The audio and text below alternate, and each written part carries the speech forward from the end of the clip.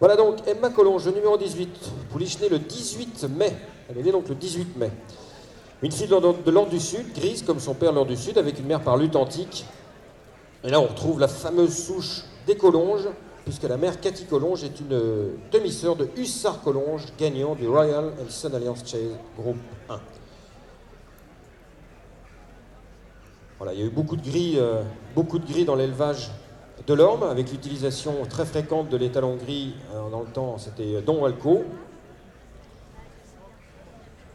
Et là, on retrouve un gris, on peut marcher avec cette nièce de Hussard Collonge. We, ha we have here on the ring number one the niece of Hussard Collonge by Video Rock, a winner of the Royal and Alliance Chase Group 1 at Cheltenham.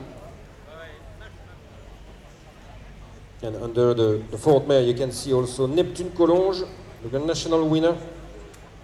Voilà, sous la quatrième ère, on, retrouve aussi un cheval tout à fait légendaire qui a porté haut le, suffixe Collonge, bien sûr, parce que c'était Neptune Collonge qui a remporté le Grand National de Liverpool, ainsi que la Guinness Gold Cup groupe 1 à Punchestown. Le Grand National de Liverpool est un groupe 3, mais bon, c'est quand même une course, c'est quand même la plus grande course d'obstacles au monde, donc c'est pour ça qu'il méritait cette première place dans le catalogue. Voici pour, pour cette fille de l'Ordre du Sud qui s'appelle Emma Collonge.